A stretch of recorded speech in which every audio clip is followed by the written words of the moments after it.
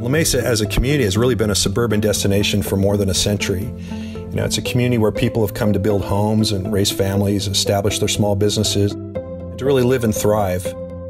Well, we got to remember that your grandparents were the hipsters of the 50s and 60s, and they stuck around.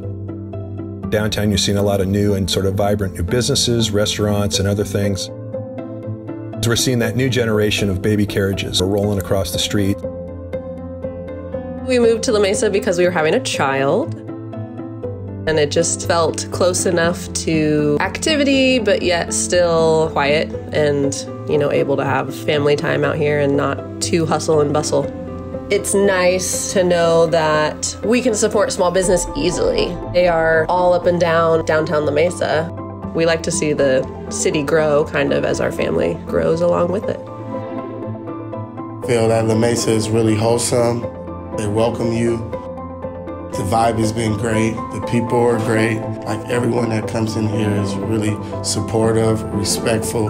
I recommend anyone to come live here or open up a business here. I'll come welcome you myself. it's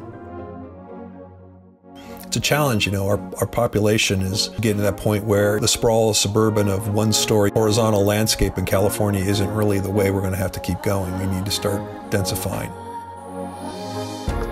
our children, they're not going to be able to afford to live here.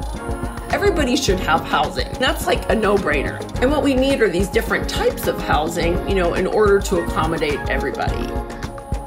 You need new construction in order to keep a city alive and vibrant. If you don't bring in anything new, you're not going to bring in any money and you're not going to be able to keep up the infrastructure within that city. Mesa has got a reputation as a place that doesn't change much, even though, of course, like any place, it is changing constantly. Understanding a little bit more about your neighborhood and your city maybe helps you appreciate it a little more. Recognize that, you know, the same efforts that you're putting into your family, your house, your neighborhood are things that people have done before, and we can build on that and hopefully improve and make it even better for everybody to come and enjoy.